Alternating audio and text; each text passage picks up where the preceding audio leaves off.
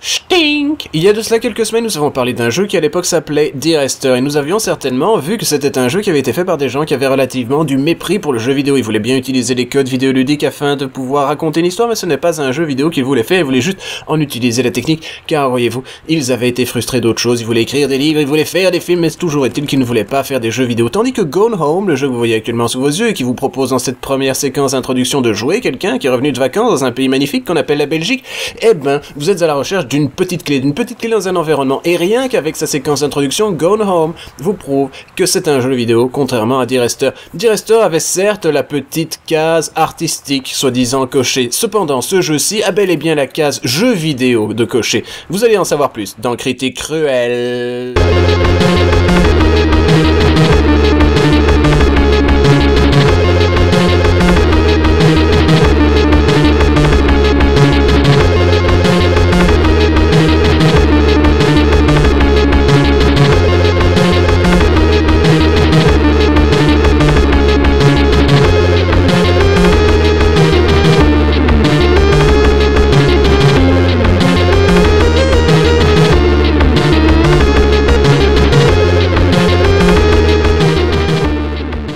Ok, essayez de suivre, je vais pourtant essayer de faire simple. C'est l'histoire d'une femme, elle rentre dans une maison où sa famille existait. Elle vit cependant, elle ne connaît pas du tout celle-ci, parce que sa famille a décidé qu'il était judicieux de déménager pendant que la demoiselle, ben, elle était aux Pays-Bas, elle était en train de faire le tour de l'Europe, elle s'est même arrêtée en Belgique, c'est une cool chick. Nous savons cependant ceci, nous savons cela, il n'y a personne dans la baraque, mais pourquoi? Eh ben c'est très simple, on vous l'expliquera pendant le jeu, et je suis certain, quand vous aurez entendu le masque parler de ce jeu charmant qui s'appelle, je vous le rappelle, Gone Home, vous aurez envie d'y essayer, car la curiosité n'est pas un vilain défaut, c'est bien entendu une grande qualité. Alors c'est un jeu qui n'est pas proposé très cher, il est à 20 euros et c'est réalisé par la Fulbright Company et il vous propose simplement ceci. Voilà une maison, elle est vide, quel est le mystère dedans? Il y a plein d'objets, vous pouvez interagir et vous pouvez lire ce qui est marqué dessus. Vous allez donc découvrir ce qui s'est passé ici, ce qui se passera là-bas et ce qui explique l'état vide de cette bâtisse qui est pourtant gigantesque, charmante et intégralement recouverte d'un bel effet de il pleut parce qu'on n'est pas du tout dans Seven du tout mais que bon bah voilà ça donne une belle ambiance audiophonique. C'est donc un jeu qui est réalisé par The Fulbright Company, c'est designé par Steve Gaynor, un ancien de 2K Marine et de Rational Games, qui était senior level designer sur Bioshock Infinite.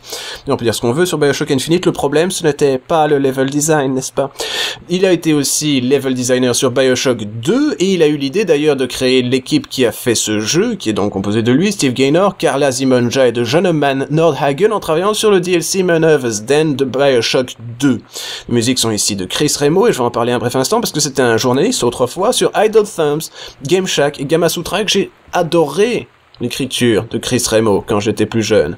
Et je suis surpris que sa musique est pas mal non plus. Il était co-scénariste sur The Cave et le problème de The Cave ce n'était pas le scénario bien entendu. C'est donc un jeu Unity et ça a une particularité, c'est que vous permet de faire tourner le jeu sur Mac, sur Linux, sur Linux ou même sur PC. Donc c'est l'histoire tout simple d'une maison qui est vide, d'une femme qui bouge dedans et on comprend un peu la nature de la famille. Par exemple là vous êtes dans la salle de visionnage de votre père et votre père ne peut pas être un mauvais gars parce qu'il a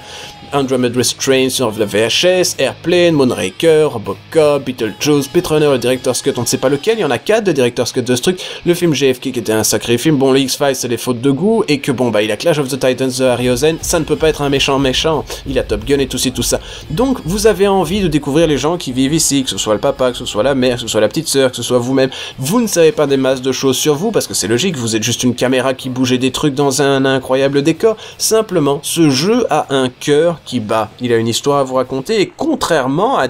Qui était un gigantesque